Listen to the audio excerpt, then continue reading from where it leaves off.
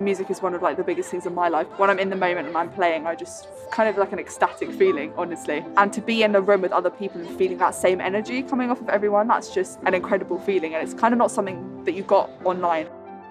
Teaching online was really good to keep the continuity, but it's been nice just to get back and to, to see the young people and actually do some face-to-face teaching.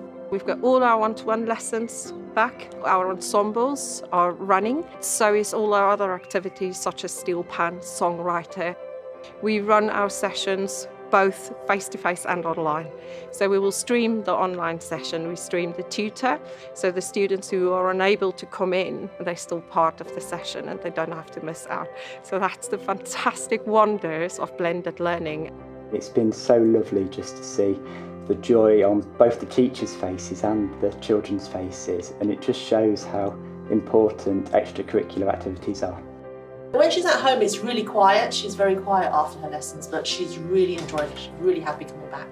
She's actually, you know, her, her face is full of joy. With the drum lessons, a lot of kids love the fact that this is the moment where they can just make the noise. And at the beginning of the lessons, we always have a little kind of how was your week, little catch up. I think that's really important for the kids.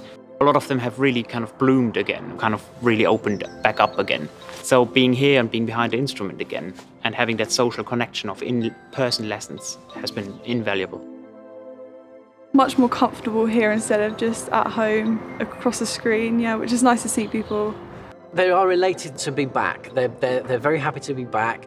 They've had such a long time where they've had very little extracurricular, very little mixing with people of their own age, so they're very excited. It teaches you more discipline and it teaches you to, to listen more and it just allows you to be a bit more creative. I think music helps with, with other subjects in that sense.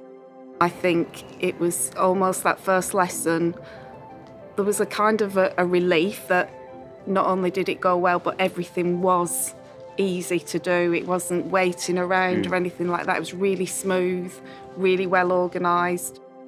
The centre's made it really clear in terms of what's expected from us as parents. There's clear signage around the building. And also it was really good that the centre was sending us emails, just keeping us up to date with what we needed to do. We do operate as a COVID safe centre. From the parking arrangements with our parents to how we drop off and how we pick up, hand sanitizer at all the entry points and as well as in every studio.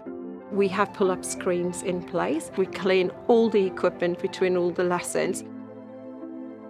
That's what music's really about, like making those connections to people and kind of coming together to create that emotion and that feeling behind the music. To kind of be back in that space where you're working with other people and you're engaging, you're kind of feeling that passion coming from other people, it just makes the experience so much more rewarding.